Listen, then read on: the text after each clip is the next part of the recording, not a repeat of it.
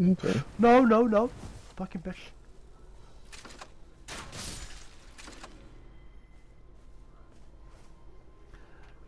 Okay.